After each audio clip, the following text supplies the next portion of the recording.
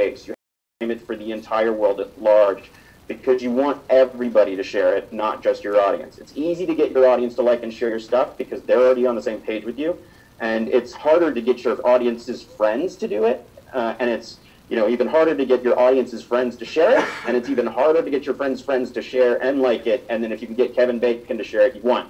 So you really need to focus on framing your content for as wide of audience as possible to get the widest distribution. Next slide. Um, so again, it's really, it's, this is really easy, I know. Uh, find a great piece of content, frame it, make sure your website, uh, uh, make sure your website is framed to really share uh, stuff on Facebook. If you look at a YouTube link, a video on YouTube, it's not easy to find the share button. On our site, there's a big, giant share button, so it makes it really easy for people to share. Um, next slide. So again, this is just standard. Like, you know, finding your content, you just need a hero and a villain, an emotional story arc, and a meaningful message. And you have to be in the right time at the right place, and you have to have a psychic on hand who knows exactly what the public is thinking about at any time. You know, it's really, really simple in, in that way. But as long as you have the basics of a really good story that connects with people emotionally, they're going to do it. Uh, Alan, how am I doing? Um, wrap it up. Okay. So uh, I'll skip the rest of this stuff, but basically the, the next slide just sort of shows you our top 10. And so basically all of these things have one amazing, you know, they all say things that resonate with their audience. They all say things that we're all thinking in the back of our head. You know, I wanted to be a part of this. I agree with this. I want to share this. And all of them are framed in an innocuous enough way that people aren't paranoid about sharing it with their friends. So you really want to make sure, again, that all of your content is framed in that perfect way. And I'll I'll load the rest of the slides later, and you can look at them, and I'll explain the rest at another time. Um, we'll be able to dig deeper during question and answer, but uh, now we're going to talk with Beth Becker, who's going to talk about kind of bringing social and communication strategy together and some other stuff. So, when Alan was talking a few minutes ago about COPE, create once, publish everywhere, Nowadays, you really can't do that. And the reason is really simple. Every platform we use in social media, whether it be Facebook or Twitter or Pinterest, those of you who have read anything I've ever written know I'm obsessed with Pinterest uh, for good reason. And uh, Tumblr, anything else come up in the future have different demographics that use them, right? If you're trying to reach women with your content, you're going to want to go to Pinterest. If you're trying to reach college students, you're probably going to want to go to Twitter or Tumblr. If you're trying to reach young men between the ages of 18 and 24 who are really techy, you're going to go to Google+. Now, I didn't prepare a slideshow today because I knew I only had 10 minutes, but I will send Alan that he can upload. I do have a small slide deck that talks about the different platforms, what those demographics are, what kinds of content works on each demographic. But you need to stop and think about when you're creating your content, first of all, you don't have to publish every piece of content to every platform. That's number one. Number two, you don't actually have to be on every platform. If your audience isn't on Twitter, why are you putting your time into it? If your audience isn't on Pinterest, don't waste your time. Time is a really valuable resource, especially in the online world. It's really easy to let this stuff become a time suck. I'm a really, really big believer that before you do anything in social media, the first thing you have to ask yourself is who is my audience? Where is my audience? What do they want from me? I recently wrote a blog post. Uh, you know, we always talk about social media as tools. Social media was tools, new tools that we were using to be social with. Then about two years ago, you started hearing a lot of people talking about social networking. That it was about the network. It's not just who's following you, it's who's following them on down the line. One of the main reasons why I hate people who worry about the number of followers and likes they have. Because how many people are following them is the important piece. Then last summer I started talking about uh, social sharing. And a lot of that was inspired by Upworthy. MoveOn has a thing called the Daily Share. A lot of organizations now are doing this curation of content, right? CrowdTangle is a new thing that's getting ready to come out. It's amazing. Uh, it's in limited beta right now, but it's going to blow your mind so it's about going through all of the content, finding the really good stuff that connects to people, that says a meaningful message, and sharing it through the networks. That's how you pass your message in social media and online. Lately, I've been thinking about it as social shopping. And I don't mean shopping in terms of purchases with dollars, although that happens too. Okay? What I'm talking about is the fact that instead of thinking about the fact that we're here and we have content and we want you to come look at our content, I think it's time for us to start thinking about who is our audience and what content do they want from us? What are they looking for from us? Every organization, every campaign, every elected official, there is a reason your audience is seeking you out. Answer their questions, give them what they want from you. If your organization talks about the environment, they're probably not coming to you for foreign policy information. That doesn't mean they're not interested in it. That doesn't mean you're not interested in it. That doesn't mean you don't ever put out content about it. Sometimes it's relevant. Sometimes you just want to be a well-rounded person or organization, right? We all have varied interests. But they're really coming to you for that environmental content. Give it to them. It works the other way too. When you're looking to talk to people on social media, I, I preach social media's pyramid of strategy. Integration of the entire organization, quality content, authenticity, and targeted engagement. Know who you're talking to. You don't need to talk to everybody else. If I'm looking, if I'm an environmental organization and I have some great content about Keystone Pipeline, I'm not going to go talk on Twitter to somebody who's an economist blog.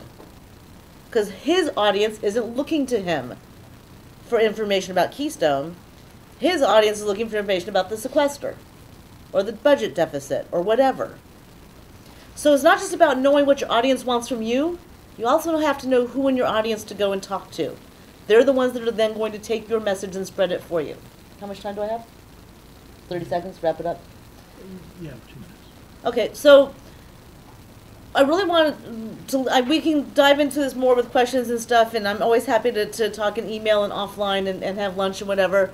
But I really want everyone to kind of think about the fact mm-hmm. that when you're creating content, it's not just about creating content for one particular audience. You are always going to have people in your audience that are kind of random, right? If you, if I'm doing content about social media, I happen to also have people that like to follow me because of shoes and cats, right? So maybe you come to me with a piece of information about the economy that has a really good cat picture in it. I'm probably going to pass that along, right? I may not necessarily be an economic wonk. Okay, I'm not an economic wonk. But if it's got a cat, you're darn right I'm going to go RT that tweet. Okay? So you want to think about the fact that content needs to be appropriate to the audience, but you also want to aim it to the right people. And I'm going to finish with one last thing, and this is my biggest pet peeve on the whole wide planet linking of accounts. I know why people do it, I get it. I think partially it's laziness. I think partially it's that people have limited time. You're talking about linking. Linking Facebook to Twitter or Twitter to Facebook or Pinterest to Facebook or that kind of thing. And the reason I hate it and the reason I threaten to taser people over it, not that I actually own a taser, so just, you know, hypothetically, uh, is really simple. You have 420 characters to describe your content on Facebook. You have 140 on Twitter. Although if you have a link, you now have 138. They took away two characters a couple weeks ago. Uh, if you're on Pinterest, you have 240 characters. Use those wisely. People who are on Twitter have different interests than are on Facebook. They may be the same people, they may not be. So if you're posting the exact same thing to all of your platforms and somebody actually follows you on all your platforms, you're boring them. And they're going to stop paying attention to you. And on social media, that's really easy to do. You can follow somebody and never talk to them or retweet them or mention them. On Facebook, not only can you like a page and not ever look at the page, you can actually hide them from your timeline so that you never see their content at all. So if you're boring people by cross posting the same information to all of your platforms, you're alienating people. And that's the last thing any of us in the social world want to do. And now I'm going to turn it over to you. Wish I. Yep, just wait for this to uh, Okay. load up. Just while, while he's loading up, um, we're gonna post the slideshows and a wrap-up of, of everything on Frogloop, which is Care2's uh, uh, blog. And uh, so uh, hopefully I'll write that up in the next day or two. Okay. Uh, my name is Riche Zamora. I'm Director of Strategy for Foresight Studios. We're a digital creative agency based here in DC. Primarily does uh, content strategy, design, and development for nonprofits. Um, so I think you've heard this point made pretty consistently across the board, but there's kind of this evolving ecosystem of content that we're seeing where um, Cope, which is very much, I think, associated with the old hub and spoke model where people would publish a, a bunch of content to their website and then publish it out via SMS, email, whichever. But I think we're now more in this kind of new model where we really have to think about content in four buckets. There's own content, which are the things that you're really producing for your own website, your any microsites that you're producing. Um, borrowed content, which is a curated piece, which is the type of content that we see companies like Upworthy doing. Paid content, which is uh, paid media, and we'll dive into that a little bit. And then that earned piece, which is really you know UGC and social media content. How are you getting people to actually talk about your brand? Um, UGC, user generated. user generated content if you're not familiar with the uh, system. So one other thing to keep in mind um, when developing content for social media is that content is paid media essentially. It's a lot of people um, I think think of advertising different from content strategy, but your, your the content that you publish on Facebook, on Twitter, on Pinterest, on other, or Tumblr I should say, are really the, the the pieces of content that you can ultimately turn into paid media ads. So you should approach content strategy from the mindset of a media planner. So figuring out like who your target audience is and what are the platforms where those people really engage. So I think Beth made a lot of great points about really doing that audience research up front and really trying to figure out where um, make sure that you're putting out the right content on the right platforms because at any given time if you're seeing that you know people are engaging highly with a piece of content that you posted on Facebook, you can easily put paid media dollars behind that to amplify the reach of any particular piece of content that you have. So as you're developing um, a strategy for where you publish content in social media, also think about how can you amplify that content or the reach and engagement of that content by actually investing some paid media dollars behind it. So work with your advertising um, team if you do have one in-house or your paid media um, team to really figure all this stuff out. Um, another thing to keep in mind is that there's almost this um, hierarchy to how you should be planning your social media content.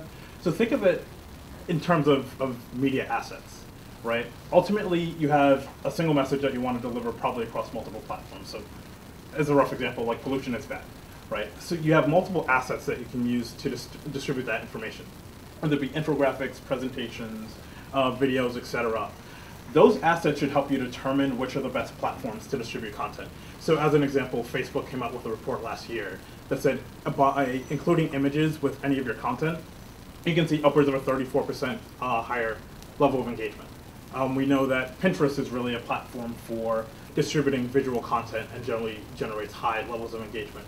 So really think about, based off of the, the assets that you have for distributing your message, whether that be a video, infographic, presentation, etc., determine what platforms that you really want to distribute that content across. This is kind of a, mo- so really focus again on that message, determining what assets you have to distribute that message, and have that be uh, what helps you determine what platforms that you push that content out to. Um, and a couple of tools that you can, I think, think about when uh, looking at how, what are some of the technologies that you can be distributing content through. Um, Alfresco is, is just one of many con- asset management systems. I don't know if folks, does anyone here use an asset management system or familiar with it? Anyone? Okay, so it's essentially software that allows you to manage large um, numbers of documents, images, videos, etc. And a lot of these systems are building in functionality for you to distribute content to social media channels. So if you're an organization that develops a lot of publications or a lot of um, documents and images, you can use leverage um, tools like this to be able to publish that content across multiple social uh, platforms. Another trend that we're starting to see within content management systems is that I think I'll, you're seeing this more on the open source side, but systems like WordPress and Drupal um, are starting to actually integrate system native uh, tools natively. So if you are publishing content on your website, those out to Twitter and Facebook and other social platforms in a format that works. I think uh, systems like Hootsuite, if you publish out an image, uh, it doesn't actually host natively within Twitter or some other systems. What this will do is actually format it so all of your assets are formatted properly for the social platform. Um, and then really focus on community management. I think there are a number of tools that you should be really looking at. First is kind of a, a social CMS, um, like a Buddy Media or Hootsuite, that are really built for publishing tools to um, social platforms. Um, and then tools like Radian6 and Attentively, and I think these are kind of a bucket of systems that we really don't think about when we're planning for social media, but they really help you get a sense of how people are talking about your brand or your cause. So you can use these tools to aggregate any tweets or Facebook posts or blog posts or blog comments people are making about any particular topic, and to get a better understanding of you know, what are the issues that are important to people? What is the general sentiment around that? Are they talking negatively or positively about a topic? And where are these conversations happening the most? And these are tools that can really help you determine where you invest your time. Because if you're finding that people are mostly speaking on, um, say, Huffington Post about a particular topic, and you're not finding a lot of conversation happening on Twitter, you really want to be where people are having the conversation. You don't want to have conversations in a silo where people aren't necessarily interested in your topic. So that was my brief presentation. Uh, I know there'll be a lot of questions, so Great. we'll. Um, Alan, may I make a point? Yeah, sure. Questions? I want to make two points. Um, and one of the points that I, I'm not, I heard Beth mention it, but that's really important in terms of strategy is what do you want your audience to do? And that is core to your strategy.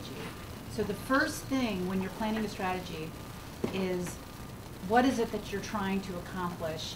Who do you need to do what to accomplish it? You know, because as we're doing this presentation, it sounds like all we're asking people to do is like and share and retweet. That's not what we're trying to do. We're trying to create um, a property or uh, to look at a new tool. You should be asking yourself, how is this helping me meet this particular this goal? So that just and then the Yeah. second thing that I want to say, we haven't talked about tools. Riche, who is a genius, by the way, and the best PowerPoint person that I know, sorry, is um, really great at talking about tools and, and saying, this is how, these are the metrics that we're looking at, and also Adam touched on it a bit. But we have such unbelievable metrics to churn on a moment. I come from the time when my clients used to spend three million dollars on advertising to get, it's like, it's like a shotgun. And now with five thousand dollars, I can drive a community of sixty thousand people. You know, so we have tools that allow us to really target and really see what's working. No, we can't guarantee something's gonna go viral, but if we know what we're asking people to do, we can immediately look across platforms and see whether they're responding. So, Yeah, I think uh, metrics is really an important thing, and we'll probably devote an entire session to metrics in, in the next few months. But uh, uh, and Beth and I are actually preparing some trainings for uh, and I also, the three of us, different venues, we're preparing some trainings on metrics. But the big thing I want to warn you about metrics: don't focus on the things that are easy to measure. Just because they're easy to measure doesn't mean that they're the right metrics. It's really easy to measure how many followers you have on Twitter, but it's usually not a very useful measure because a lot of people may follow you and never pay attention to you. Don't be a newt. Don't be a newt. That's uh, my, my, I wrote a piece, uh, uh, an article with some, a couple colleagues uh, last year about how Newt Gingrich, who had 1.4 million Twitter followers, half of them hadn't tweeted in over a year, half of them didn't live in the United States, and about three quarters of 1% lived in New Hampshire and, I, and, and Iowa. Not very useful for a presidential campaign if you really think about it. And yet he had 1.4 million followers, and everybody was very impressed. Uh, don't fall for that trap. There are uh, metrics involving uh, focusing on engagement, uh, the degree to which people are sharing your stuff, feedback, and click-throughs to your site, which are really, really key. Beth is often fond of, of indicating that the downstream on Twitter, you get up up to 10 uh, iterations of people retweeting you, and to know who those people are and why they're retweeting and who they're retweeting. Um, I had. Um, but I had- again, make your metrics measure what you want Right. people to do, not just impressions. yeah. Yeah. Sometimes, sometimes. I'm sorry to keep going back to that. No, There- it's really important. Yeah, Yeah, I think you should, if you look at metrics in two buckets, right? There's optimization metrics and there's business metrics. There's business metrics are what I think you're talking about, which are really, you're trying to drive home some action, whether it's people to sign a petition, whether it's people to make a contribution, whatever. Ultimately, you have some hard number that actually proves whether you hit your goal. But then there's also this other bucket of optimization metrics, and I think we, we often kind of dismiss like likes and shares, because they really, we can get too hung up in that. But from a mechanic standpoint, they do matter in that platforms like Facebook determine look at likes and shares to help figure out what brand content will actually show up in somebody's newsfeed. If your content isn't actually getting engagement, especially from you. So as an example, if Beth, who, Beth. if um, Beth is not clicking on liking or sharing any content from say the Foresight Studios um, Facebook page, that content over time is not going to appear in her newsfeed. So ultimately, what you want to do is really focus on, although they are kind of not necessarily extremely important in terms of driving business metrics, they, you do want to also try and drive as much engagement as possible because otherwise your content is not going to be seen by your audience.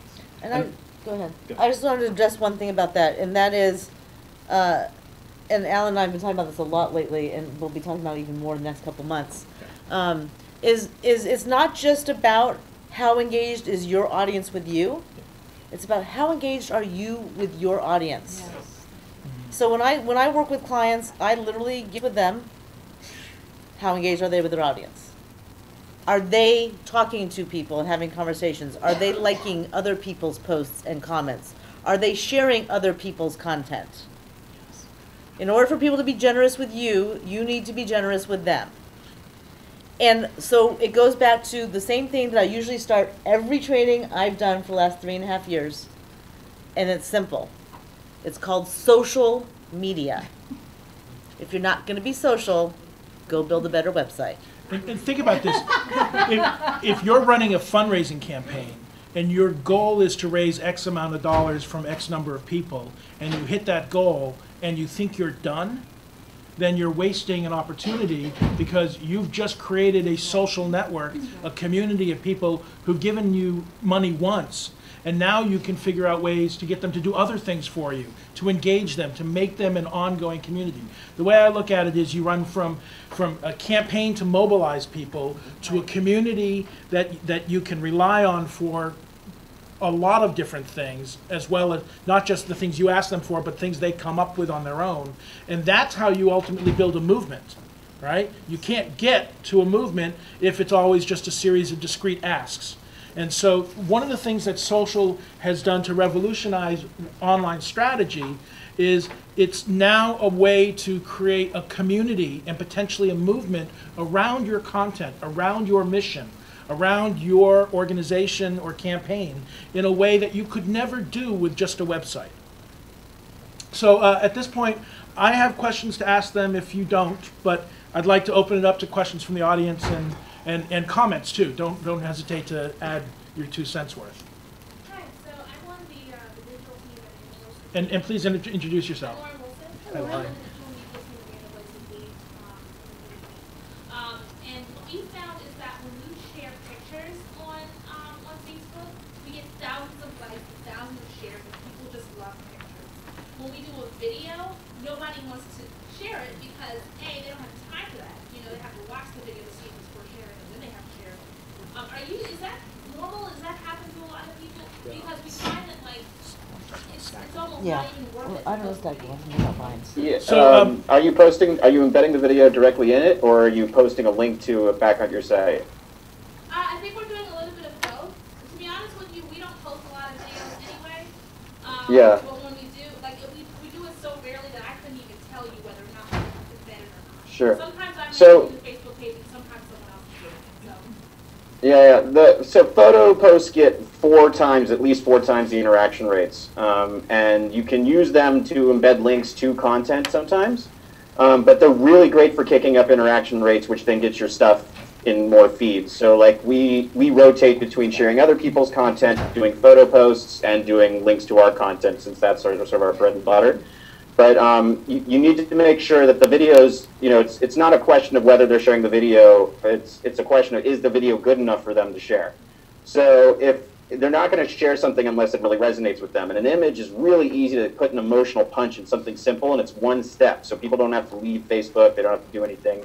So it makes it really easy for them. If the video is amazing, it will share.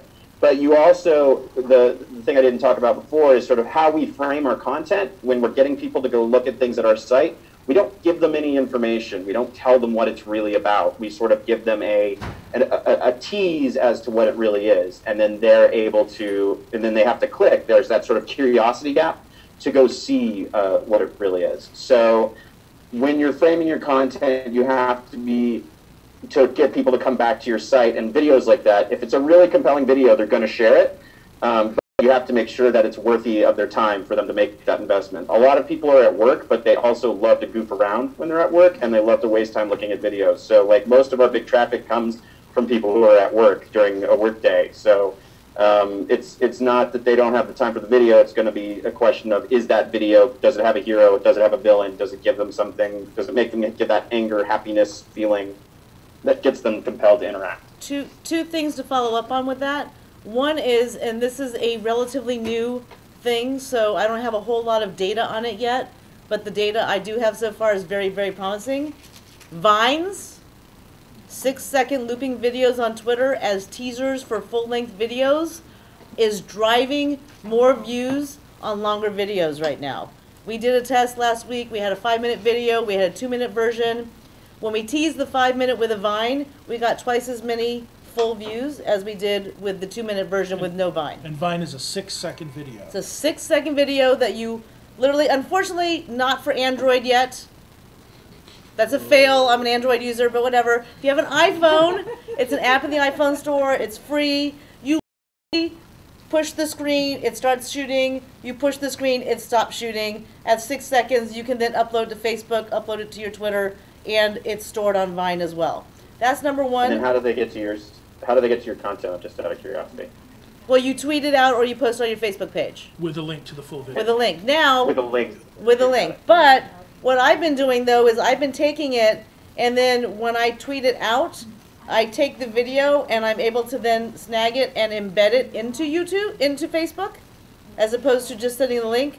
Embedding something always way better. If you're doing a link, I have found that by going to the link source, if I'm going to link to a website, I go to the website, I download a picture from the website, I upload the picture to Facebook, and then include the link, and I literally get double the number of impressions on that content. Yeah, just think about the way that looks. You know, when you put a URL into Facebook, it pulls a thumbnail with text. It's a little tiny picture. But when you pull the picture off and then upload the picture with a, and then in the caption add a link to the content, you got a big picture. And it's just that much more compelling. And then the only other thing I want to add is is one thing we didn't talk about when we talked about metrics that I really want to make sure we hit on. It's not just about engagement; it's also about action, right? How many people are actually doing something? And there's a new tool out there. Uh, I love this tool. I pay to use it. I talk to the developers every day, but I pay to use it. It's called Action Sprout. It's a Facebook application that allows people to take action right on Facebook.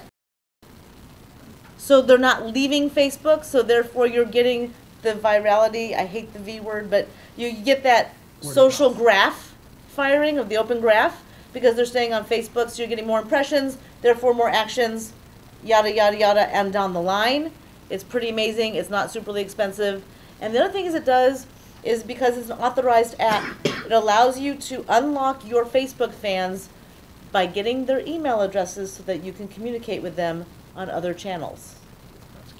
That's cute. The- The other, you know, they're changing the, the Facebook news feed now. They're slowly launching it for a lot of people, and it's becoming much more Pinterest visually, like big picture oriented. So images are definitely going to be a much bigger factor going, for, going, Within this- going forward. Could I? within this context, just kind of uh, a way to wrap your head around it. Jess, Jess Thomas from uh, Jess Three always refers to this as snackable content.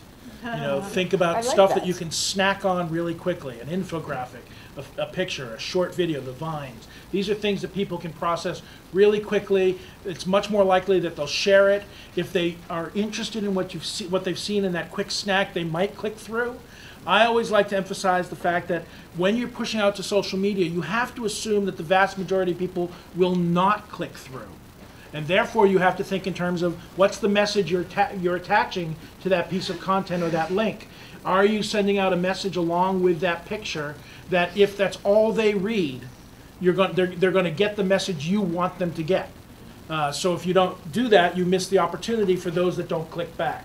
Uh, click back, I always look as a bonus when it comes to social media. So um, just, I think you're you're also going to be getting a lot of great tips here. Um, best practices from a lot of the testing I think we've all done.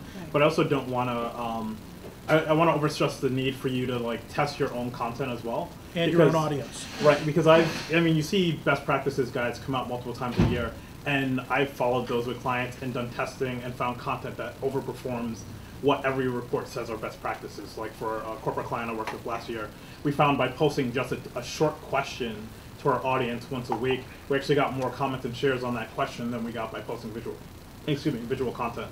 So you might find with your audience that there's certain things that resonate or that drive engagement that aren't necessarily best practices that other people find. So make sure that like pull from these best practices that we're sharing with you and try them out and see how they work with your audience. But also do testing on your own based off of um, trends that you're finding within your uh, in your social properties. So one As- metaphor that I have, back to Beth's, it's social media. We used to, we used to use the metaphor at the very beginning in two thousand four, two thousand five of a dinner party. I think of it now more like you're at a, you're hosting a rave because there's so many different things going on. And, and, but you gotta be like, did you see? And you're walking around and do you know? And, you know, you think of, think of yourself as the host of this giant party, you know, and, um, that's just me. Yeah, that, It's really- that, that always drives me to the, don't think that social is about two-way communication. Right. Social is about three-dimensional communication. It's about your audience talking to each other Exactly. and talking to people who are not in your audience. The two-way communication is important, right? But the goal is to get your audience talking for you. Kira? Uh, Well, do- well, before she, just one last thing I want to say. Um, oh God, now slipped my mind. oh, testing, right. So one thing I always say is if you're going to do this professionally or even as a hobby full time, uh, I always say that you need to be a part-time data nerd. And anything, and he, he I, I can't, I can't emphasize what he said enough. Take best practices that you read about, take best practices that we talk about, test them on your own audience. Every audience is different. Like I said before, some audiences are on Twitter, some are on Facebook, some on Pinterest. Think about who you're trying to reach. Do the testing. See what works for your audience. Facebook will tell you that the best time to post on Facebook is between 9 and 10 p.m. Depends. I have now I have now worked with a total of 40, uh, 60 plus electoral campaigns, one major union, and a whole bunch of nonprofits. None of them was 9 to 10 p.m. the best time to post for their audience on Facebook. Kira? Kira Martinez from the Environmental Defense Fund. In keeping with the testing theme, Adam had mentioned uh, A/B testing headlines on Facebook, and I'm curious about how uh, Upland does that. Adam, could you hear her question? Yeah, Okay. so I can't tell you, I, we have an A-B testing system that we just built, which I can't really talk about. But what I can talk about is what we used to do, which is um, essentially we would put two posts, we would make two bit.ly links. So you get, you know, you create two versions of the headline. And you can, anybody can edit their headlines on Facebook when they're sharing it. So you can post something and then click the title before you share it and edit the title. I don't know if everybody knows that, but so basically you can edit the title and description. So we would have two bit.ly links of the nugget. The nugget is a post in our internal language. Um, and then you would post one for 15 minutes to, or, and then post the second one for the next 15 minutes and then hide the first one, assuming that the second one was going to be the winner. So you would pick the one you think would win second. Um, and then if the second one won, then you knew you did it right. The, another way, but they're starting to punish people for messing with it that way on the feed. So another way to do it is find um, two geographically similar, demographically similar groups of, of your audience, and do um, do di- distribution just to them. You can just target specific groups. So like New York City and Brooklyn, and say you know like we want this headline to go to these guys and this headline to go to these guys. And then you look at the total amount of clicks. The likes and shares are less important than the clicks because you want to know what's going to drive them back to you. So you just go to the Bitly stats. If you just add a plus sign to any Bitly link, you can see all of the data on it and, and how it got clicked. Um, and so those are those are two viable options. Facebook also allows you to pay for dark posts, which you basically pay like five bucks, and you can distribute a post to your audience, but not actually show it anywhere, and it won't be on your feed. But they can you can then look at the Bitly's from that as well. Another thing on that is I have found a lot of people don't have time to, to, to try and game Facebook like that with that, or don't have the funds to do that on a regular basis. Uh, I actually have people that basically do their A/B test on Twitter, where they'll tweet out the link five minutes apart, two different versions, and see which one gets the most action on Twitter, and then go post it on Facebook. And we find that there's a correlation of about ninety percent on that, where Twitter can accurately predict whether it's going to move on Facebook as well. So that's something that's quick and easy to do. But you can also again, use your it's e- testing. email list as well. Hey, if anybody got here late and didn't get a lunch, there's still more back there, so please go help yourself. Question? The one, the one thing I want to really reiterate though is you really do need to test because like uh, I was gon- another slide I was going to show is basically my editor and I both wrote up the same exact video.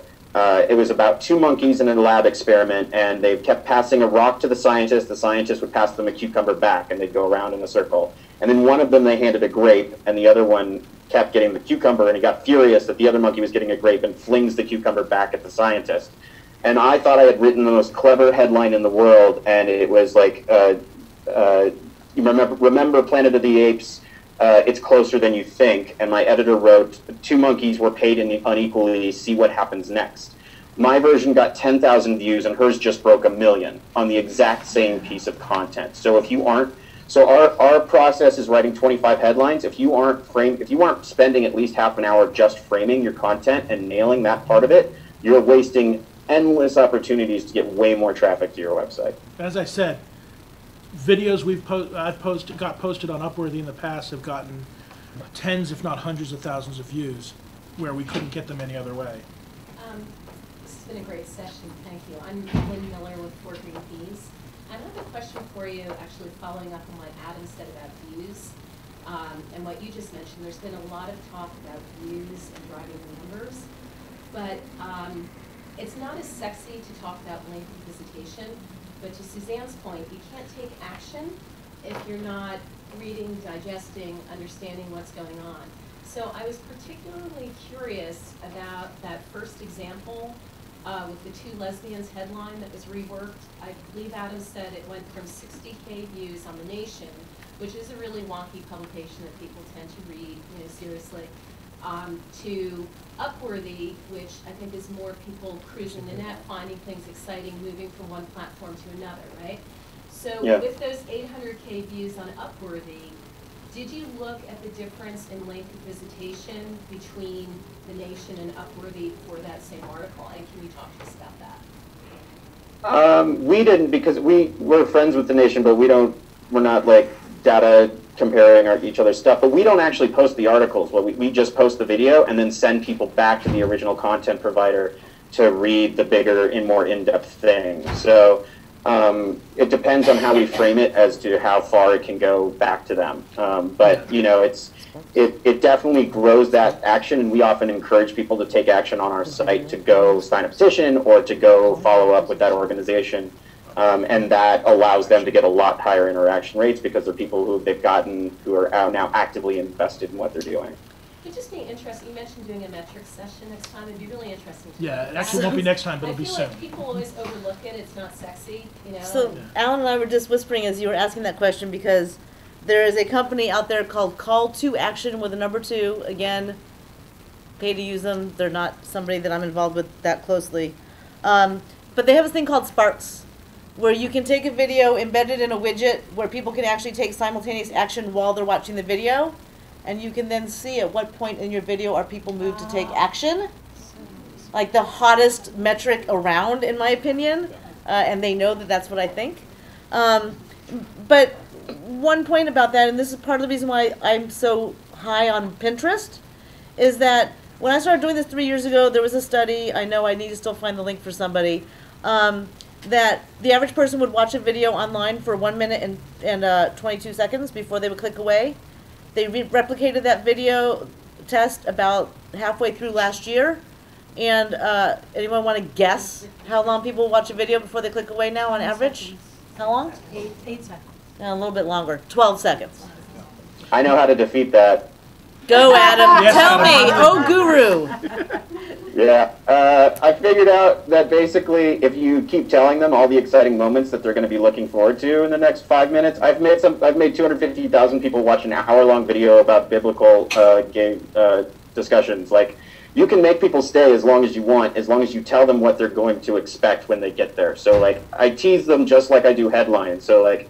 At one minute and 32 seconds, he says this crazy thing. At two minutes and 49 seconds, he says the thing we're all thinking. So, like, sort of teasing out the entire thing underneath the video makes people think, well, okay, I can just wait for the next part just to see if that. And they all have to pay off. If they don't pay off, people click away. But as long as those moments are all moments that really connect with people, you can get them to stay and share and interact. So um, it's, but she's right though that like if you don't do that stuff, then basically they they are going to leave if they're not immediately hooked. But as long as you set the stage for them to like wait around and, and see what's next, then they'll continue to keep looking and, and you know that's how we got that's how we got so many people to look at a racial profiling video was like there was like seven or eight breakdown moments listed that said you will not believe this and then this happened and this happened and this happened it makes them stay and then they get the whole picture so it's really useful in getting people to stay with your stuff It still has to be good content though, because I remember it sitting really has through- to be good if it's I not remember good sitting if- through if you're, Hamlet if you're by Kenneth deceiving people Branagh. by I thought you were gonna say Kenneth over promising I thought you were gonna then they're not going to Branagh. stay I, I went to, I, I don't know how many of you remember Kenneth Branagh's Hamlet. I knew Billy Crystal and Robin Williams had a scene in the second, in the second, after the intermission. I couldn't last. I left at the intermission. It was, it was dreadful. Um, so you still have to have something good to keep them there in the Now process. Jude Law's Hamlet, on the other hand. And then there's, and For me, it's, for me, it's all about Kevin and Kline's then there's one-man Russell Crowe in the Miz. All right, uh, we had uh, uh, some hands up over here. Uh, hi, Scott Williams with the League of American Bicyclists. Um, you had talked at the beginning of the session about you've got to have a strategy and an end goal in mind. It's not just about page views and, and links and shares, but the content has been primarily about page views and links Right. and shares. How do we bridge that? How do you turn that strategy into, let's just say, selling memberships? Okay, We should do you hired me. No, I'm just kidding. on strategy building. No, you, what you do is everything you do, you do with that in mind. And when you're developing your content and you're testing your content, so, so let's say you've got some research and there are certain, your research shows, and you can also use all these tools for research. I mean, I mean. Absolutely. Unbelievably, like my budget for, for, um, research, which I just forgot the name of what you call that kind of research, but my budget for research has gone from hundreds of thousands of dollars for clients to like tens of thousands or even just thousands because you can test so easily what people respond to. But in any event, so you have some research. You say, okay, well, our members are this particular age. In the last five years, our acquisition of members have been these particular types of people. Well, let's go and see where those types of people are playing. Are they playing on Facebook? Are they playing on, where are they playing? What are they doing? Are they on Foursquare? Because whatever, you know, where are these people playing? Okay, let's now um, try to test, I think Adam said they test 35 to 50 headlines. Let's test a bunch, because it's free. You're not paying Celinda Lake $80,000 to test the messages. So now let's test a bunch of headlines in these different places and see how they do. We're still in the research mode here. We're not even in the campaign mode yet. So you test a bunch of messages across platforms that indicate that's where you can get people engaged in membership. And you see which ones work the best. And then you keep spreading the campaign and interacting with the people in the rave that you're putting together. That's how, that's how I would describe it. But for me, because we juggle multiple clients, and, you know, one of the nice things about being a consultant and not being staff is that people are spending you a lot of money to focus. We can't get this done, so we're hiring you to focus on this. So I can be really bullish with internal teams and organizations about focus, focus, focus, focus. And I'm getting paid to get something accomplished. And when I first started, you know, my joke is if someone hires you to do social media and they say throw up a Facebook page and start a Twitter account, just fire them. You know, or if someone hires you to do a press, to do media for them and they say let's do a press conference and put out a press release, then fire them because they're not thinking about how to do this. They've got to understand you, your audience, your goals. We get paid based on results, not on not on growing audiences, but on results. Did the candidate win, right? Well, I, not necessarily. I'm not. I'm like. I'm, I'm, Yes I'm not no. going to go that far on that one. Yeah. But one thing I would say is that, and one thing that I have found to be true over the last three years, is we go and we spend literally six to eight weeks building the strategy before we even send a tweet or a Facebook post.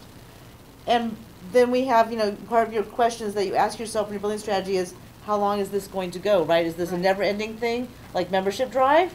Or is this, you know, are we looking for votes in the primary in six months' time, right? There's a time definition in there, and probably seventy-five percent of the time, the strategy plan that we wrote on day one, by day six has changed, and by one, day one eighty, it doesn't really resemble the original plan, because we're constantly testing and doing iterations, And and changing, and you can't be afraid to experiment and fail.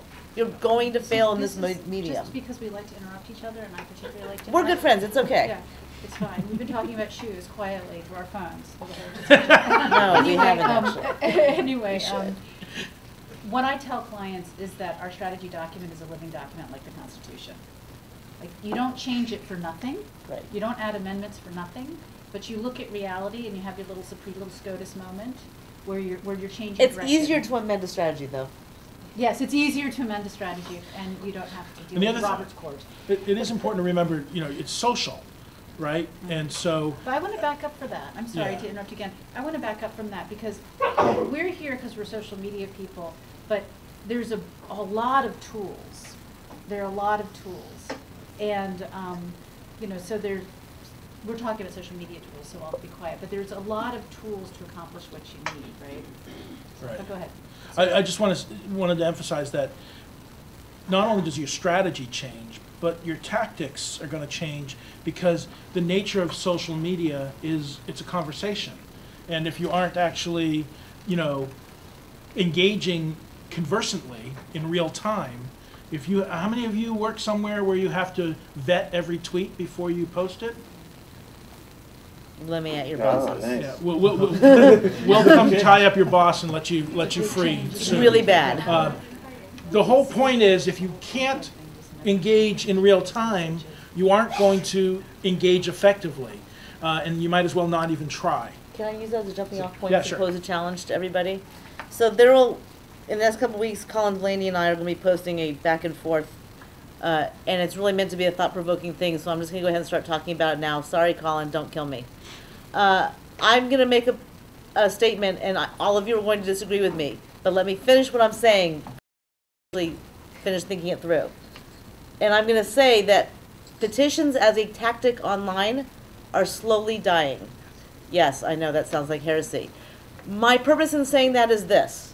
There are a lot of great petition sites out there. There are a lot of great petitions out there doing great things. But people aren't signing them as much because there are so many of them. People have petition fatigue. Petitions that once would have gotten a million signers are now getting a thousand signers. And it's not because they're bad petitions. It's not because they're bad causes. So my challenge to us as new media people, as online strategists, is to think about what is petition 2.0? What is the next step? For example, I have a client that's going to be doing Vine petitions, where instead of asking people to sign something, we're going to ask people to make a six-second Vine of them saying why this particular thing should be the way we, they want it, and then we're going to turn it into a couple mashup videos for web ads. What is petition 2.0? How can we constantly be challenging ourselves to move on to the next thing? Because tactics do get old. And when tactics get old, people stop paying attention. Another, another thing to say that we sort of have as an internal process is called joyful funerals. Uh, when a project you really want it to work and it's just failing horribly, someone can say it's time and like we have an intervention and people kill the project if it's just like too much effort for not enough growth. So like you need to be agile enough to remember and not get too like hold on too tight to each project because every once in a while you're going to have something that really nails it and other times they're all going to die and you have to be willing to give it up and move on to the next thing instead of wasting time on something that'll be an uphill effort so be be willing to give up your dream if something isn't working and it's re- and there's not, not a way to easily get it fixed All right, One thing we? I, oh, oh, go sorry, ahead. just Ted, I think one thing we haven't talked much about, um, which I think is extremely important, especially on social media, is this concept of social listening. I don't know, does any organization here actually analyze like what peop conversation happening around particular topics before they post content? One? Four. Okay, that's five. That's sad. That- Um, yeah. it is because it's such it's it's such an important piece. So before you actually begin planning your strategy, you should really figure out like what what are you talking about or what are the conversations you need to listen to, and use tools to actually see what like your potential constituents are actually saying about that topic. Like what are some of the keywords they're using? What is generally like what are some of the resources they're going to or sharing content from? Um, This is what Attentive.ly and Radian6 and right, Meltwater these kind of tools. Or but th- those well, Attentive.ly I think it- is more affordable, but And you can use Yeah. Hootsuite or Totally TweetDeck affordable. as Right. well. do keyword searches, hashtag monitoring. and it can seem daunting because you're sometimes analyzing a conversation that could Analytics. include 100,000 or 500,000 comments or, or Yeah. posts. But if you get it to a manageable, manageable list, there are affordable systems that you can use, like Amazon Mechanical Turk is a system I live and die by. Um, Amazon Mechanical Turk. It's a marketplace for doing human data analysis, which basically means you can give a data set to this marketplace and say, I will pay you 10 cents for every piece of data you analyze. And you can run a series, a list of, say, a few thousand comments through the system, and people go through and say, this is positive, this is negative, this is about this topic, this is about that topic, and give you some actual data about it instead of you having an intern sit there for three days going through and analyzing each one of these posts. Nothing like There's also one called Peak measurement. Analytics that's just Right. recently came out that's amazing. Mhm. I would even push this a little further. Social listening is really important before you launch your strategy. And during. But then while you're doing it, Exactly. listening to see whether or not your memes that you're trying to push out there are actually getting traction. And it can be really used key as well. afterwards to help you measure return on investment. Did you create buzz? I want to just do a case study here very quickly. So I work on a lot of highly contentious issues. So I look in my, my TweetDeck, I follow the hashtags that the, the bad guys are using, as well as my own hashtags. And I saw the Chick-fil-A thing turn on a dime. Yeah. Yeah, just by following free speech. So if you take all of, I'm not gonna get into this Chick-fil-A thing, but we were all like, rah, we won, or la, la, la. And then suddenly, my Twitter starts pumping, and I'm realizing it's all turning and no one's paying attention. Yeah. So, you know, by looking at your various audiences and their, their hashtags, also, we do a lot of work on, um, democratization movements in the third world. And so, um, because Twitter translates, um, you know, I follow all of the Arab world hashtags, right? And, which has me now on twelve watch lists, I think, but, um, but it's just, it's, And to me, rules. Twitter is free, and since, and since, um, since the, pe- the people that I'm trying to reach are usually the influencers and the reporters, and they're talking on Twitter, and I think if Twitter is where the conversation starts, you can smack me if I'm wrong, because you guys know more. You're right. Um, Twitter's free, I can see where the conversation starts and what the news story is gonna be in three Yeah, or four days, because it takes about four days to make it to mainstream media from Twitter. And one So- thing to jump off on that, one of the things that's awesome about Twitter is lists, because you can have private and public lists. And I don't know if you know this or not, but when you create a private list, people don't know they're on your list. I use private lists for op research to follow people who I don't necessarily want them to know I'm listening to what they're saying, but I'm telling you I'm watching them like a hawk. Mm-hmm. And I can see what's coming our way, okay? And you can see what the opposition is getting ready to do. Mm-hmm. We use that a lot. Alan and I have a tactic called DOE, denial of hashtag. We know which hashtags to do that to because we follow these people without them realizing it, and we know in advance what they're about to do. And you should understand that it only takes about 10 people tweeting on a hashtag in concert with each other to change the direction of the content of that hashtag conversation. I've been able to uh, completely reverse conversations that were driven by Eric Cantor and John Boehner on Twitter and Kevin McCarthy, the you know House leadership on the Republican side, and I've been able to go in and mobilize uh, progressive tweeters to go in and just change the direction of the conversation within 10 minutes. And sustain it for as long as I want to, as long as I keep at it and keep people uh, on it and keep tweeting and get people to retweet me. It just, it, it's very, very doable. So, and if you're going to do this, and this is something I learned the first time I did, uh, the first time I put together a denial of hashtag campaign back in 2010, prior to the election. Uh, the Republican Steering Committee was doing a campaign where they had a, a Twitter day where their members were tweeting online about their commitments to the American people.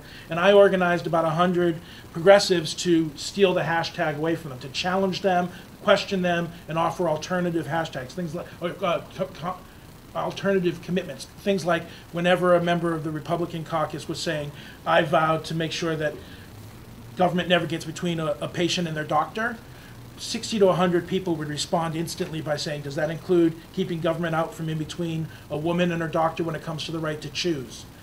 I didn't even tell them to say that. They just did it when I said, hey, we should counter this.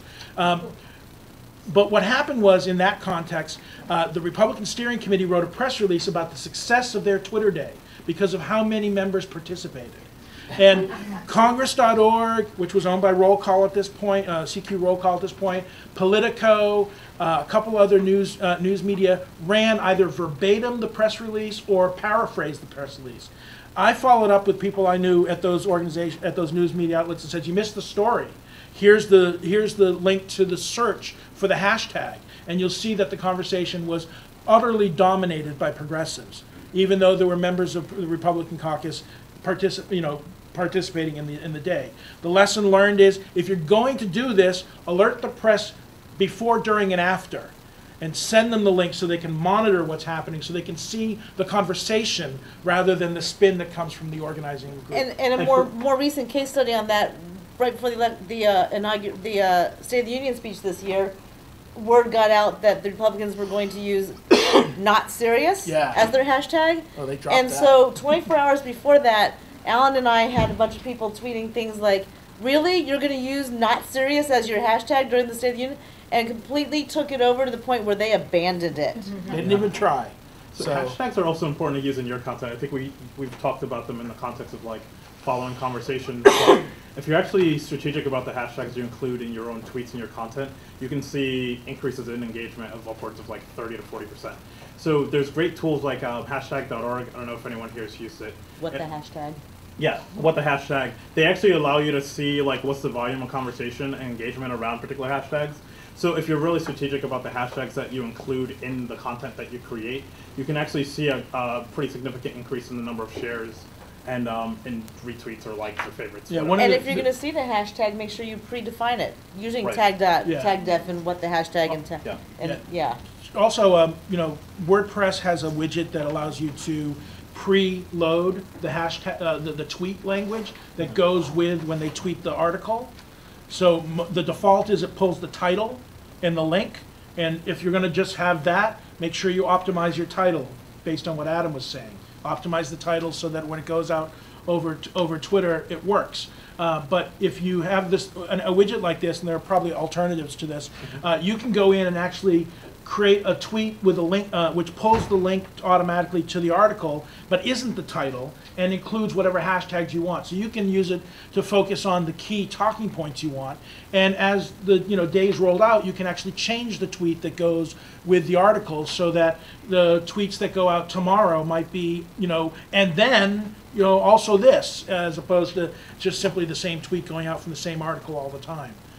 if, if you guys have a software development budget, any of you at all, you should be spending your money on having alternate fields for all of, for your headline, a Facebook headline, a Facebook excerpt, a Facebook share image, because share images have to be at least 600 by 600 now and be optimized. So you should be adding that as fields, as extra fields in your normal content management, and a Twitter and a Twitter field, so that so that all this stuff auto populates. We always do that, and like the there's now um, Twitter cards, which are essentially when you put a link in, it shows you like the whole news story that you can attach your site to as well. So when we post a link to one of our, our our posts, it shows the headline, and we can also use the Twitter feed, the Twitter space, to make an alternate version that teases the content more.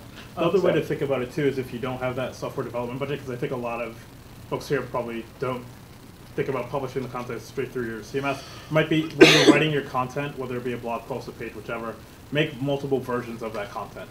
Like I, I tried to show within that, that hierarchy, figure out what your key message is and figure out what are the formats of content that you're going to create. So create your tweet, create your infographic, create your, As your blog post, three or et four cetera, separate as entries. different pieces of content so you know that when I when we're ready to communicate this message to um, our constituents, these are the various formats that we're putting it in.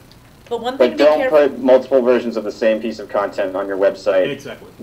but one thing because also to be careful about by Google. is when you're posting to Facebook, do it manually. Don't use a third-party app to post to Facebook, because they say they don't do it, but I have data that really truly shows otherwise. If you use a third-party app, you're not going to get as many views. Yeah, sometimes it even strips out the share. And you might notice that Facebook has now made it so you can pre-schedule posts, because a lot of people were doing that using Hootsuite, but then they weren't actually benefiting because they were getting punished for using third-party app. You can pre-schedule posts in Facebook Oh, itself that's natively great. now. Part of Uh, that's because um, they're actually Facebook white lists certain IPs. So some of the bigger vendors like the Buddy Medias of the world, you're generally not going to run into that issue because they work with Facebook um, directly. So if you're going to pick a social media management software, look at the, um, the actual developers list or people who are approved uh, Facebook API developers and pick a vendor from that list, not just a vendor because they're cheap. Like Hootsuite, you're not going to necessarily get great formatting from using that, but there are better tools out there. So I'm going to answer a quick question from our four green peas person. Oh, I was Uh, wondering who that was. That, uh, about your Twitter lists. Uh, Oh. We've talked about making Twitter lists, and yes, there are limits to the number, you're only allowed to create 20 Twitter lists and up to 500 people on a Twitter list. Um, I just create extra Twitter accounts. Oh, that's a good idea. So, um, and, They call uh, that now, well, I, I, I do two different kinds of things. I have different Twitter, I mean, I have multiple Twitter accounts that have different purposes. So IA Roundtable is for the roundtable, Dr. Digipol is me personally, Take Action News is, is my news media company, uh, and then I have some, some sa- satire ones like Good Pontiff and Rep Allen East and things like that. Um, but, uh, um, when I was at CAP, I had CAP Action, and then I had CAP Action Two, and CAP Action Two didn't do anything, but it allowed me, you know, I never used it to, to, to as a sock puppet. I just used it to have uh, extra capacity for lists, and uh, you know, that's a good way around it. It's, it's blunt force, but it works. If we keep begging, maybe they'll give us more lists. Yeah. Yeah, exactly. Um, Well, just wanted to follow up on your point about creating a separate Twitter account for your advocacy work, or have, what has been the success of that from what I've seen, creating separate Facebook pages for an advocacy campaign or creating a separate Twitter account? Right, right. We never seem to get Yes. as many. So there's a couple things, that. Couple, I'll answer, and then I'm sure Beth has a lot more to say. Um, from a personal perspective, Dr. Digipol, my personal account, I use it for everything. That's me. That's all aspects of my life, from where I've had dinner recently that was really good, to what's happening in Congress, to what you should do on social media. It's a picture of who I am and what I do. That's my primary channel. Um, the IA Roundtable one I set up years ago when I first launched this, um, uh, when Twitter first actually started, and it's a feed. It feeds Colin's ePolitics blog and Tech President, and then occasionally I go in and and, uh, and add things to it. So it has a, a separate purpose. Um, the, the the the satire accounts they're fun. They're not really part of me. They are extensions of me, but I, I do the, I use them for kind of different purposes uh, to be able to tell jokes on a certain theme apply the same kind of insights when you're putting together your Twitter and, and Facebook channels. So two things off of that. One is the key word in what Alan said a few minutes ago is purpose. If the purpose is to be a long-standing, long-term campaign that is separate from your main reason for being, okay? For example, um, I'm working with a union that is doing a major organizing effort down in the south. And they have a separate presence on social media for that campaign because while it is a part of their overall mission, it is also very specific. Okay? But at the same time, they do cross post, it crosses from the main union, the union crosses from that. The other thing is it's about authenticity. One of the things we do on electoral campaigns and legislative offices, we create the celebrity account versus the staff account. The candidate, the member of Congress necessarily doesn't necessarily have time to be on social media all the time, right? There are some members that do, but some don't. But the staff can always be on. It's run by multiple people, right? And it's clearly Marta's staff. Uh, we also do that with nonprofits. You know, look, CNN has CN at CNN, right? It's basically an RSS feed of CNN. But they also have breaking But news. all of the, they also have CNN breaking news, they also have sports, they have politics, etc. But the reporters also have their own accounts. And so the, they, they kind of mash it all together. New York Times, same thing. They have various sections of the newspaper that have their own presences. And their reporters all have their own presences that have the NYT in their screen names so that you know that's what they're associated with.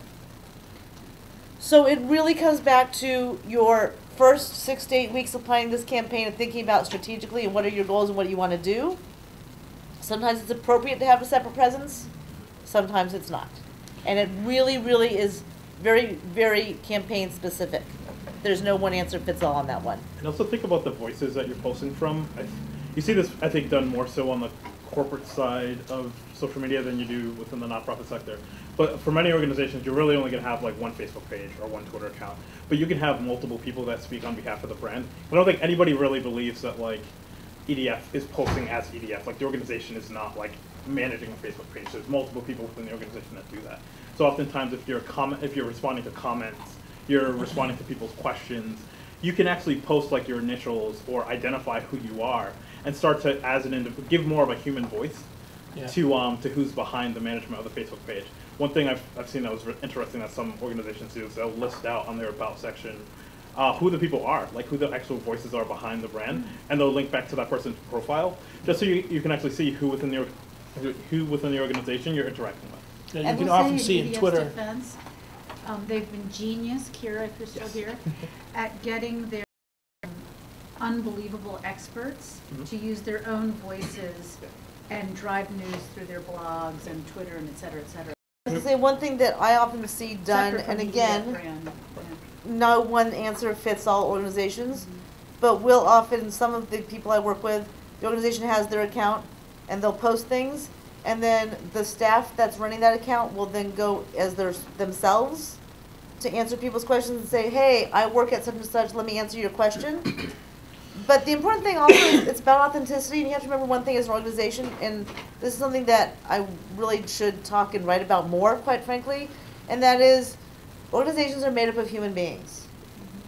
You can't be afraid to show humanity in your organization.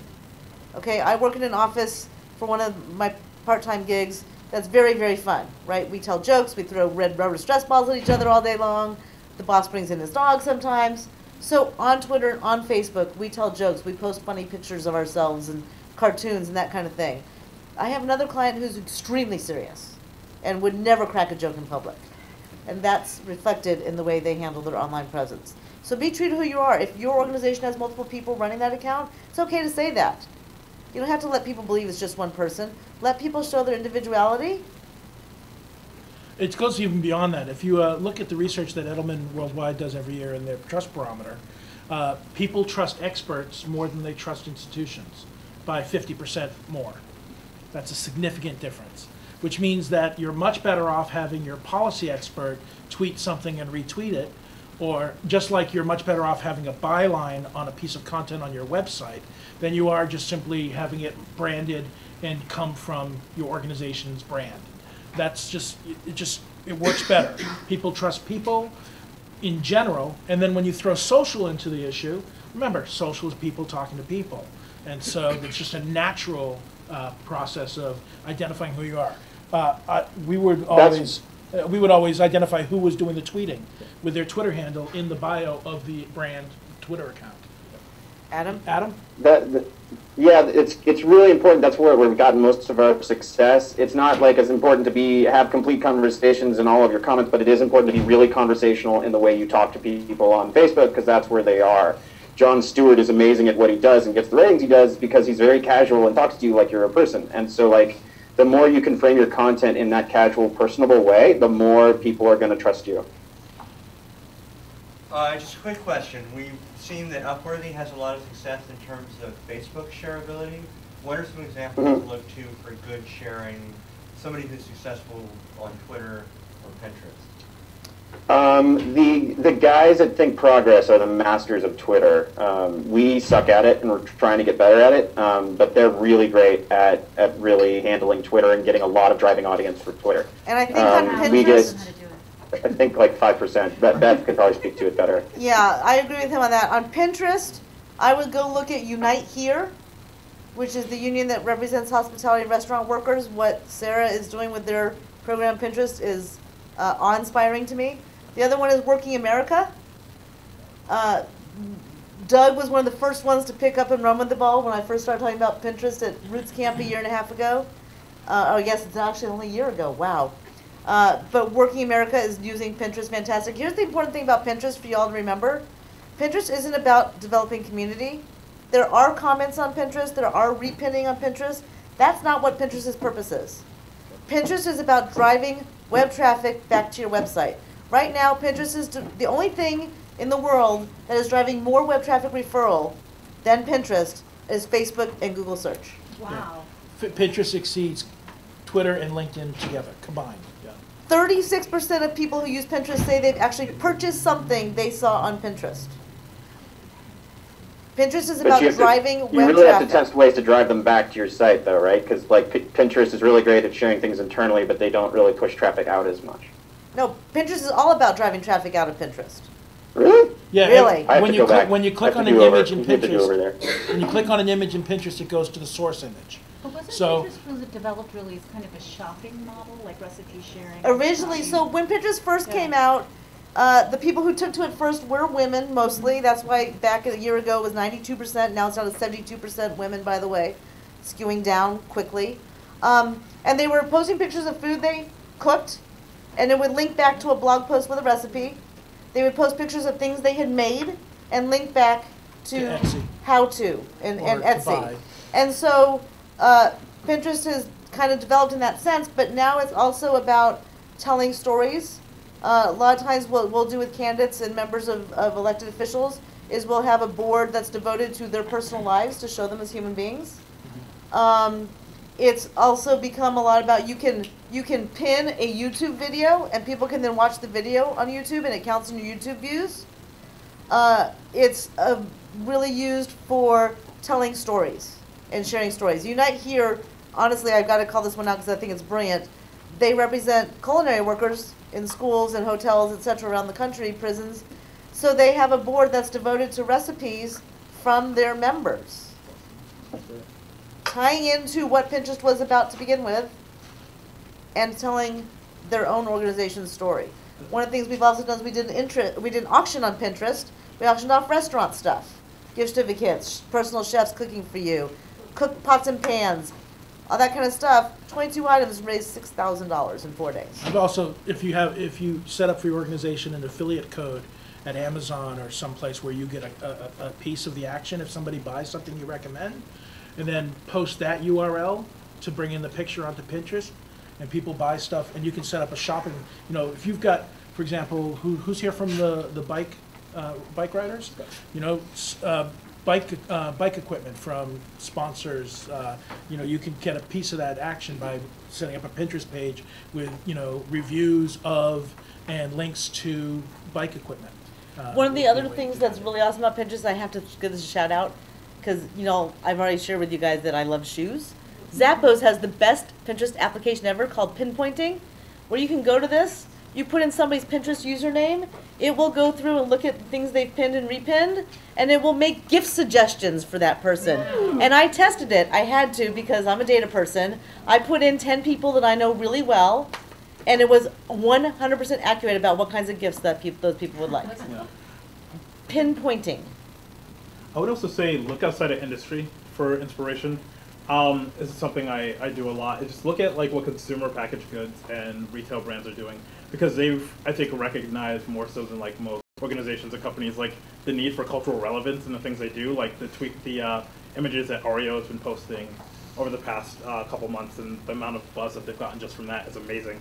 So I think also looking outside of the nonprofit and political sphere for inspiration is really important because there are like corporate brands who are doing really amazing things and they have a lot of money that they're dumping into research so you can sometimes glean some really good um, recommendations from from what they're doing And I'm glad you mentioned Oreos. That made me think of something. The other thing about social media is it's about rapid response. Alan asked a few minutes ago how many of you have what I call the noose around your neck, where you have to get your tweets and Facebook posts approved first. Nothing drives me crazier, as anybody who knows me well knows. Uh, but Oreo scored the success they did during the Super Bowl. Walmart scored success. Uh, not Walmart, Walgreens. Uh, Major League Baseball had an awesome tweet because it's about rapid response, making decisions quickly. But you'll also notice that they did it in one platform because it was about immediacy.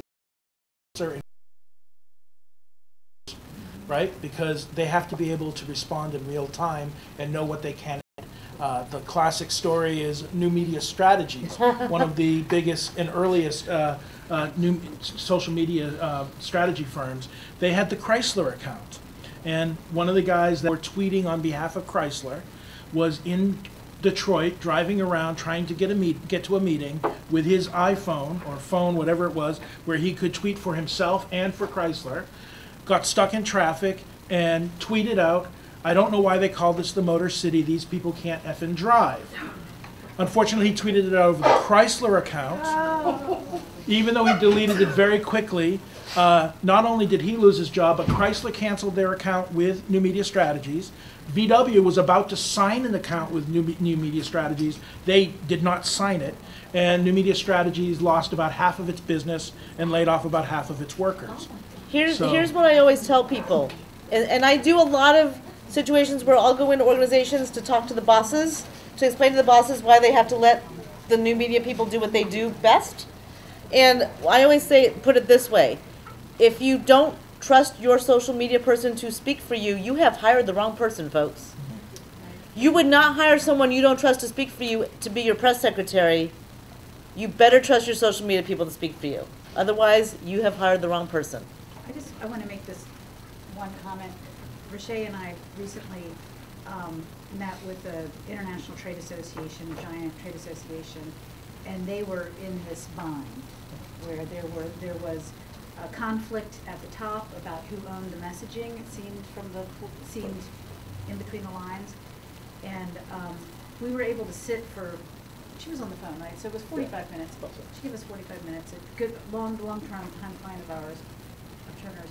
But we came up with this kind of module for her that I think would be, is a really great module, where we would come in and do a day-long training and then two half-day trainings. And in those trainings, essentially teach people how to write and also for the various media, and also how to track their metrics, and then track what they were doing over like six weeks. So, um, just, you know, a, a, a completely um, shameless plug for a product that we developed on the spur of the moment. Um, and it was something that really brought the, the blood pressure down of the client because they knew that it would go through all their approval processes and come back. And they also had a global network, so they knew that they could create a situation where there would be approved tweets and that their staff would learn to improve their, not just tweets, but base all the different properties. Their staff would learn to use metrics to improve their writing and mm-hmm. that, you know, we would bring in a, an approval process. So just, it's just a FYI. I have a question for you about that playbook. And that, in this particular instance, did they, so they put out like suggested tweets, whatever, that kind of thing. But did, did the individual running the accounts have the authority to adjust accordingly based on what they saw the audience The was goal reacting to? is to give the individual that, because what Okay. they came to us with, they came to me actually, with a hundred approved tweets that were like, you wanted to kill yourself. Right. Yeah. And I said to the, the person who was in charge of the VP Marketing Communications, we had a long conversation about strategy and blah, blah, blah, blah, blah. And when I dug down, it became clear that they needed, they needed to reassure their bosses that their people were properly trained. Yeah, this, and this is the key. It's simultaneously a, pro, a, a, a challenge of training your social media staff to do it well and training the leadership of your organization to be comfortable with it. So there's a managing up aspect to it that, that's essential. If your, if your top bosses don't want you to tweet, uh, you're not gonna be effective doing it and, uh, um, and you probably shouldn't bother. It helps to actually provide like executive dashboards for senior leadership. So if you're creating like, it shouldn't be anything really complicated. Like they don't care how many followers you probably gained in a week. But if they know that your goal for social media is to increase memberships or to get more petition signings, if you're able to just produce like a very, you know, Right. two to three slide deck that says, here's the progress that we made and present that on a weekly or monthly basis, mm-hmm. that can really help to build that trust in senior leadership and get you more resources for the social media. And I would even go so Also- far as to include in that sort of, you know, these are the message, th- this is the, the, the message that we're trying to sell. This is, this is some examples of some tweets and Facebook posts that we've used. We're working within these parameters rather than these are exactly what we're gonna use. And so that they, and, and this is how some of them performed, so that they can get a sense of, you get what you're allowed to say and what you're not allowed to say. They can see the flexibility of how to say it without necessarily going off the reservation. And And they can see the performance of it. To, to, to Riche's point, though, when you're talking to very senior management, they just want to know if the goals are being reached. Right. And How are here's- we reaching the goals? And here's one thing to think about too. A lot of times the people in senior management haven't really experienced social media for themselves other than their own personal Facebook or Twitter. Case studies. I actually have gotten members of Congress to agree to do Twitter because I showed them case studies of corporations that came under fire and how their Twitter audiences protected them. And all of a sudden the light went off. Oh, right. If anybody wants those kinds of assets and links that they want to share with people, please just ping me. I'm really easy to find on Twitter and Facebook and everywhere else because I do have like a whole set of links that I send to people to help you convince your bosses to let you do what you do. Sometimes just a, a well-written one and a half, one, one to two page memo of what the advantages they can gain by being on Twitter can work. Uh, I wrote one of these for James Cameron, the, uh, the, the director, and I wrote it on a Wednesday, and on Friday they asked me to page rollout strategy for him because he was launching that app. Uh, so it is doable, even for somebody who feels like they have no time at all. Uh, you can make it happen. And sometimes it also helps to bring in unvested outside interest. Okay, I, I know Alan has done this. I'm sure that they would do it too. I know I've done it many times. Where somebody who's not working for your organization, who doesn't have a vested interest in your organization, comes in and talks to the senior people to make the case. And suddenly they're the expert that's trusted as opposed to the person saying, give me a budget because I'm your social media person. And it really does change the ballgame, I have found. Third-party validation is I very want to good. ask the group, because I I know we're running out of time, we're making a lot of assumptions about what your pain is. Right. because we've gone into so many different organizations and felt their pain. Um, Are there, what are, what are kind of your burning issues before we start to, to wind down? I'm sorry, Alan. No, that's a good point. control. Did- Is there- is there anybody sitting here that just has some burning issues? It's not really burning, but um, going back to your point of not assigning a junior person to be your social media manager. Right. me, Um, not the expert on all of the policy work that we do, trying to convince higher up staff members to participate in the social media process. We have a couple that are finally like creating their own Twitter and thinking about maybe sending their first tweet, maybe. And we have others that are just, I absolutely refuse to do it, I don't have time. Right. And convincing those people who actually are the voice of the organization, the, the names relationship with somebody who is at a senior level, the team or in the policy team, that you can quickly say, hey, you know, I'm about to respond to this on Twitter, does this, and, and send them language, does this make sense to you? I would, I would yell across the hall. Yeah, so that, so that's really, really key. Um, as far as convincing people to get onto Twi- onto Twitter, uh, there are a variety of things. Number one, uh, the average in front of a camera. And people go, I can handle a camera. Uh, so that, so, so it's not so hard. Uh, talk to them about, um, time management situa- uh, situations. I tell people that they op- they should open up Outlook for email and TweetDeck or Hootsuite for, for Twitter when they come into the office in the morning and leave them open in the back so that they can, so it's just there as background noise rather than something that they have to make a point of doing. And that way they can, you know, if they're gonna send out an email with a comment and a link to an article they just read to their colleagues, they can take an extra thirty seconds to tweet it as well.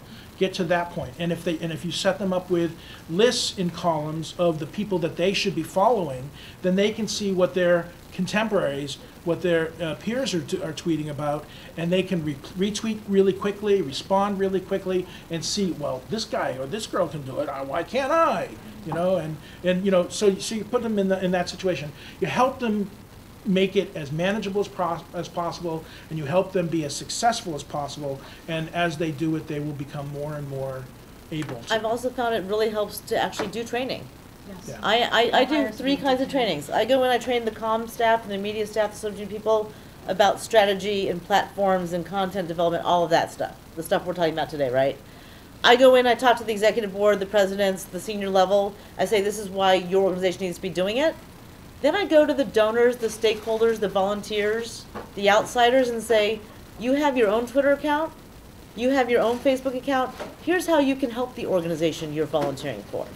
Here's what a retweet is. This is how you retweet.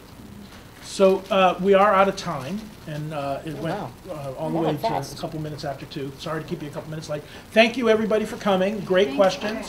Thanks to the panel. Uh, Thanks to We Act Radio for filming this, and we'll make sure it streams next time. Thanks to Care2 and League of Conservation Voters for hosting us.